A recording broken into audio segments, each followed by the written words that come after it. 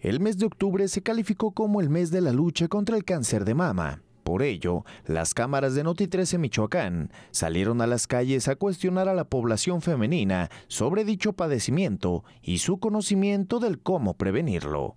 Sí, siento que el tema es muy sonado en general por este, todas las campañas que hacen, mm, pero creo que, eh, como dice ella, somos muy dejadas a veces o no recurrimos a chequeos generales eh, muy, muy seguido o constantemente y pues creo que sí deberíamos de hacerlo más seguido para cuidarnos un poco más.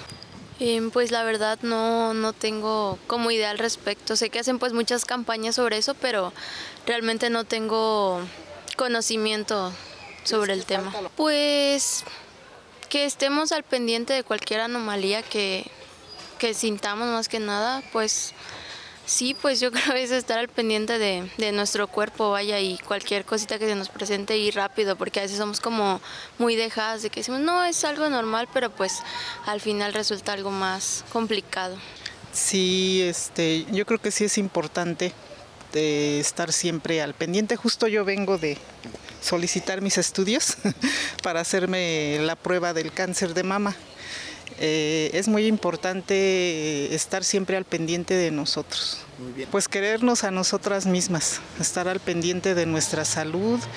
Primero querernos nosotros y estar bien para poder estar bien y querer a los que a nuestra familia, a nuestros hijos, a nuestro esposo. Yo desconozco, la verdad, de esta campaña, pero pues se me hace como pues bien importante, más que interesante, importante pues para las mujeres, por la salud, el bienestar de las mujeres las mujeres coincidieron en que la mayoría de las personas no tiene conocimiento de los riesgos del cáncer de mama por la falta de atención en las escuelas, familia o incluso las autoridades.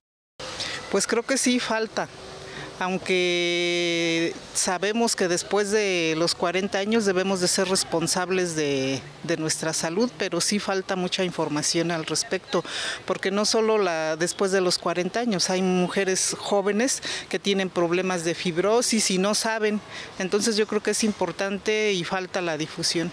Es más que nada yo creo que la cultura de quererse uno mismo, de estar al pendiente de la salud, eh, es algo que debemos de hacer por, nuestra, nuestro bienestar.